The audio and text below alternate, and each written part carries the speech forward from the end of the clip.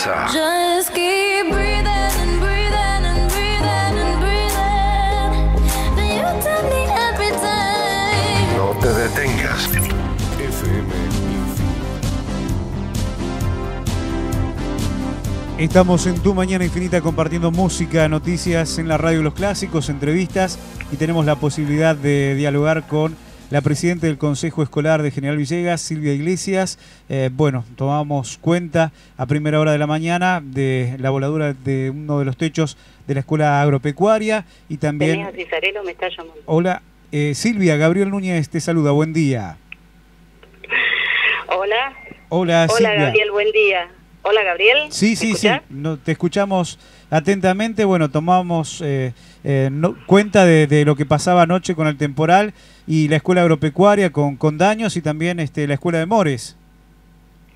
Sí, sí, hoy eh, temprano ya tomamos en conocimiento por las directoras que sí, la escuela agropecuaria tiene un sector de preceptoría que se voló parte del techo y después un, en agroalimentos que ya había sufrido de la tormenta anterior, bueno, eh, también que se desarmó casi ese espacio.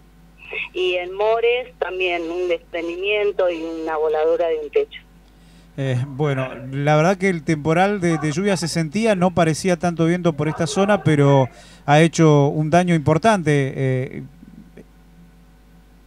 Sí, la verdad que nos sorprendió porque acá en Villegas no, va, no lo sentimos, por lo menos la mayoría de los con los que he hablado se nota que ha agarrado una franja de mucho viento que bueno nos viene tocando últimamente.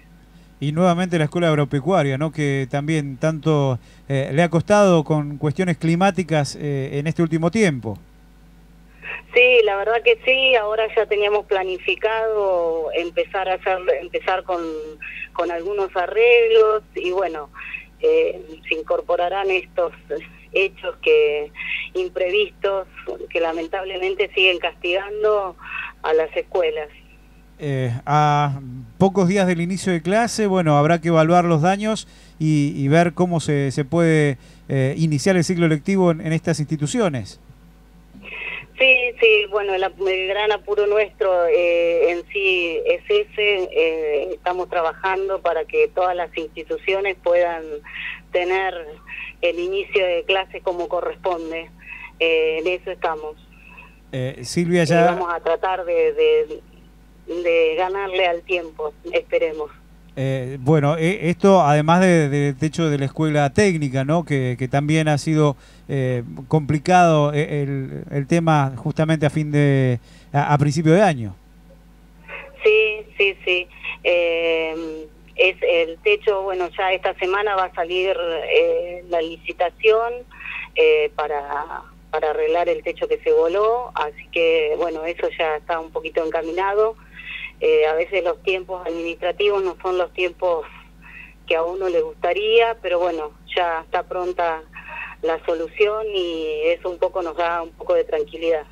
Eh, en este caso sabemos que son ámbitos de, de educación que pertenecen a la provincia, pero se espera o se solicita, se va a solicitar ayuda al municipio para la escuela agropecuaria, la de Mores, y, y bueno, para que se adelante el trabajo en la técnica. Mira, en este momento estoy esperando eh, a, a José Tomaselli para ir a ver las dos escuelas, eh, para ver los daños y bueno, y ver cómo se sigue. Silvia, te, te agradecemos el contacto, la, la confirmación de estos hechos y bueno, y, y esperando que, que se pueda solucionar lo, lo antes posible. Muchísimas gracias. No, de nada, Gabriel. Hasta luego. Saludos.